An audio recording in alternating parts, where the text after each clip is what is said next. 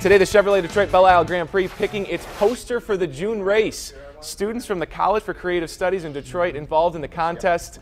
I was part of the judging panel today. Awesome work. The winner, though, senior D'Mitri Moore. It's pretty surreal. I didn't expect that I would even make it to the finalist position. So I'm really excited to see where this goes and see my work out into the real world. Well, it's a very unique poster. We've never had something like this before. This mysterious driver, like is it Steve McQueen? Is it Elio Castroneves? Is it Juan Pablo Montoya? Who is it walking to their car? It tells a story. And I think that's the uniqueness that we showed today and why we chose D'Mitri Moore as the winner today. And now that poster goes everywhere. Wow. Cool for him. Best creative minds in the city there, too.